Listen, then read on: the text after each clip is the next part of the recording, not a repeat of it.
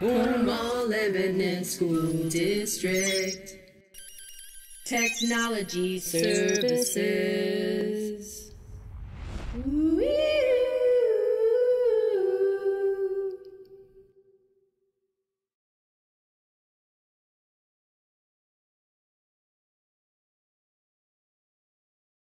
Hello, this is Jason from Technology Services, and today we're going to talk about laptop care. Most of the reasons that we have issues with laptops is because we forget we have a laptop with us.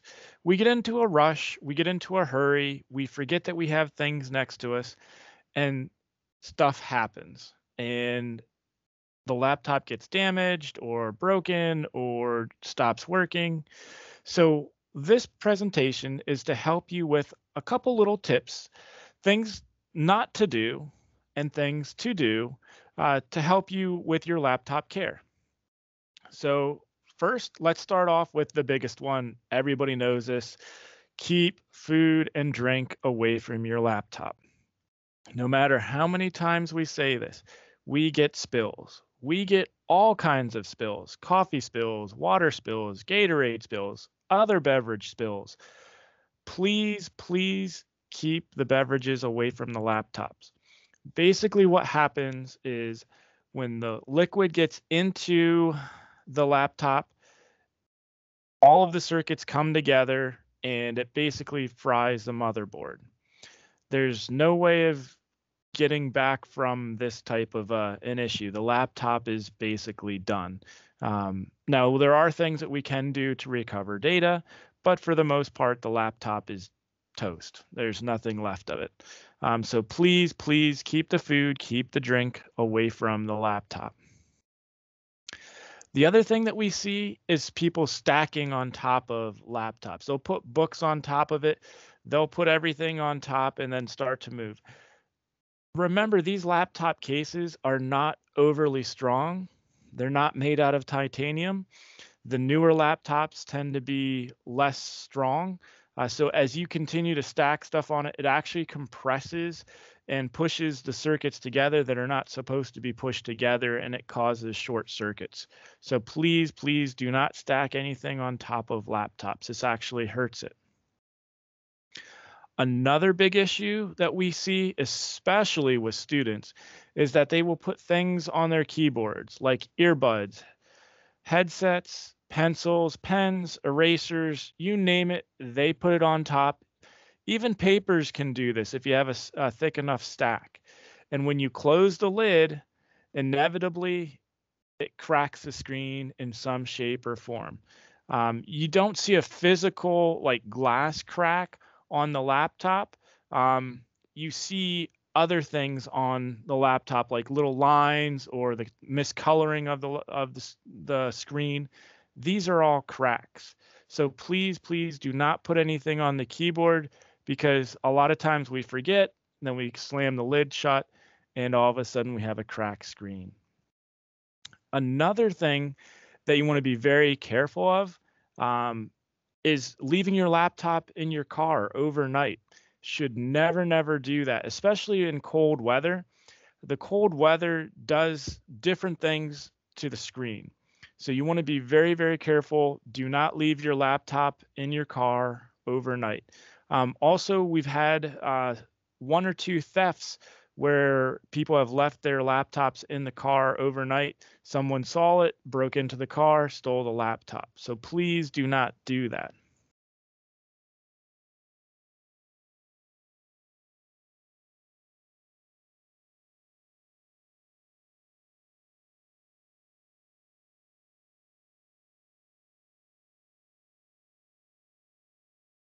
Actually become too hot, overheats the laptop, can actually melt components inside the laptop. So please never leave your laptop in direct sunlight or in a very heated area. Um, and again, laptops are not meant for extreme areas. Although this picture is very funny, it's a laptop inside of a microwave.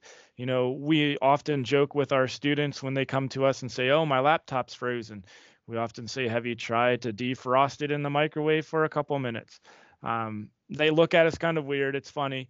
Um, but in all seriousness, uh, keeping a laptop away from a microwave or a refrigerator or even a stove, um, these appliances have magnets in them, large magnets. And in some laptops, these magnets can do a tremendous amount of damage. So you want to keep your laptops away from kitchen appliances and other appliances that may have large magnets in them.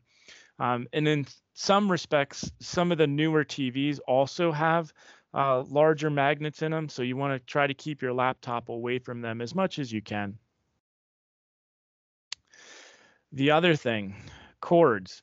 We have all kinds of stories that I can share with you about cords. So someone is in their living room, they put it on an end table, the cord is stretched across the room, they go up to get a drink or do something, they forget about the cord, they trip over the cord. When they trip over the cord, the laptop goes flying through the air and it never ends in a good result. So please, please be aware of how you're plugging it in. We often tell people if you're going to do work at home, select a station that is safe, uh, where you can plug it in. There's no tripping hazards. Uh, it's away from food, things of that nature. Uh, when if you intend to work from home. Also, when you're plugging and unplugging, uh, don't grab the cord from quite a ways away from the plug and yank on it that actually loosens uh, the wires that are inside the cord. Uh, grab the plug area and gently pull it out. Again, just trying to save the, the life of the cord. So be very, very gentle with the power cord on some of these laptops. Also with all of your plugins, you know, don't forget when you're finished with your laptop, make sure you unplug all of your USBs and your um, all of your cords, your power cord, whatever you're not using on your laptop, you should always unplug it. Because a lot of times, what we've experienced is people forgot that they had their phone plugged into their laptop or they had a thumb drive plugged into their laptop and they either shoved it into their bag or dropped it and it actually bent the port or actually pried the port off of the motherboard. Um, so we've seen a lot of damage with that. So don't forget about those uh, cords that you plug in or any of those other um, SD cards or anything like that. And remember, again, be very gentle with those cords. Um, they are making the cords smaller and thinner. So as more wear and tear you put on those cords, uh, the more likely they are to short out. So you want to be very, very careful with that. So I've said a lot of things that you shouldn't do let's talk a little bit about the things that you should do. So, first of all, let's talk about cleaning your laptop. This comes up quite a bit. You should never spray directly on your laptop. You should never pour water directly on your laptop. My recommendation is to spray a cloth and make a cloth lightly damp and then use that cloth and wipe off your screen, wipe off your keyboard. Now, notice in this particular picture, the laptop is off. I highly recommend turning the laptop off, shutting it down, and then spraying the cloth, wiping the screen down, and wiping the keyboard down. You want to do this fairly regularly. Um, the reason that I say that, if you eat next to your laptop, which again, I don't recommend, but you'll get crumbs, you'll get dust underneath the keys. And that will also cause you problems with keys sticking or actually uh, becoming lodged and stuck, um, and they won't function properly. So when you clean your laptop, my recommendation is take some type of a mild cleanser, spray it on a cloth first, wipe down the screen, wipe down the keyboard. If you're at school, uh, we have uh, we've been given instructions and shown how to use the Rejuvenol, the number 16 cleanser. So feel free to use a spray of that uh, Rejuvenol onto a cloth. And a lot of times I recommend using a micro cloth. It's a very, very soft cloth that doesn't scratch the screen or cause anything or um, any damage to the laptop itself. Um, some of the other cloths you have to be careful of that may be a little harsh on the screen, but also might leave uh, little microfibers as well. You know, those little bits and pieces of cloth um, on your keyboard as you wipe it off. So that's just something to keep in mind. The other thing is, you know, how do we keep a backpack or how do we keep the laptop safe when we're carrying it from place to place? There's laptop bags and laptop sleeves.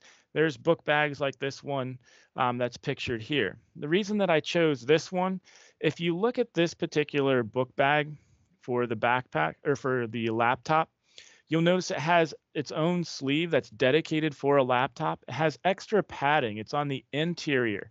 So the nice thing about this, it provides a little extra protection for the laptop, but also notice where the water bottle is. A lot of times we we do carry around a water bottle, but the water bottle is in a separate compartment from the laptop. It's on the outside of the book bag. Now we've had instances where people will put the laptop and the bottle of water in the same compartment and the lid has actually come off of the bottle and the water leaked into the bag it got the laptop wet and the laptop was ruined so a book bag like this provides a little extra protection because the bottle is on the outside. So if anything does happen, chances are the water leaks on the outside and not as much inside, protecting and saving the laptop. The other thing that I want to mention is, you know, carrying the laptop. Notice the picture on the left. This guy is carrying the laptop with two hands. Um, I've seen a lot of people grab it by the screen. That hurts the hinges. The hinges will come undone with that. So be very careful. Always carry with two hands. The other option is like in the upper right, uh, actually closing the laptop and just tucking it under your arm for extra protection. The other nice thing that you should think about is trying to conserve your battery. So turning off anything that you're not using. Um, one thing is Bluetooth. Bluetooth is generally turned on by default. You want to turn that off, get, save yourself some battery life. And there's some other apps that you can turn off or some other services that you can turn off. But just be aware of that. I just wanted to kind of throw that out because when we're talking about um, batteries, we want to conserve battery life. A lot of times people ask, you know, should I leave it plugged in? Um, should I unplug it from time to time? Well, I read on Dell's site, their recommendation is to fully charge the battery to 100%. Once the battery has reached 100%, unplug it, use the battery, use the laptop until the battery is under 50%. Once the battery is under 50%, you can wait till it goes completely dead or somewhere under 50%, then plug it in, charge it up to 100%, unplug it, and just follow the same procedure. Now, when you're plugging in, remember you probably should have a surge protector. We've had a lot of instances where a house has had a brownout or um, a power outage or something like that, and it actually um, ruined the power cord because of a power surge that came through the outlet. So that's something to be aware of as well, something to consider.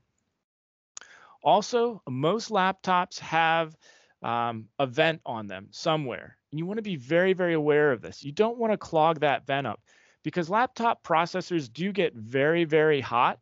And this can ruin in the inside of the laptop. It can also uh, shut down the laptop. If the laptop gets too hot, it'll shut down on you. So that's something to be aware of where your vents are. And this is also really important when you're doing work. You want to have those vents open and available because if you put a laptop actually on your lap and that's where the vent is, you're going to get really, really warm really quick. The other thing is when you're charging your laptop, you don't want to set your laptop on a couch or a blanket or something like that where that will actually clog the uh, the vent the laptop will overheat and will damage it over time. And the last little tip I have for you is remember to shut down. You should always shut down before you're carrying your laptop from place to place. You should shut down at the end of the day. What shutting down does is it kind of refreshes your laptop. It takes everything that you have done, all the changes you've made to your laptop, it writes it to the Windows registry. If you miss one of those, this is when your laptop becomes corrupted, you get the blue screen, all kinds of bad things happen. And when I say shut down, I don't mean simply closing the lid. Closing the lid does not shut down your laptop. It only puts it in sleep mode. And if you go too many sleep modes without shutting down, again, that could cause you your blue screen issues. It can also cause you to have other uh, basically corruption problems later down the road. So shutting down actually means going to the start button, button, hitting the power, selecting shutdown, and let it shut down all the way. Once all of the lights are off, then you can close your lid and you're done for storage or for whatever you need to do. So I hope these tips have helped you out a little bit. I want to thank you for paying attention, for tuning in to this video, and I hope it helps. Thanks again, and have a great day.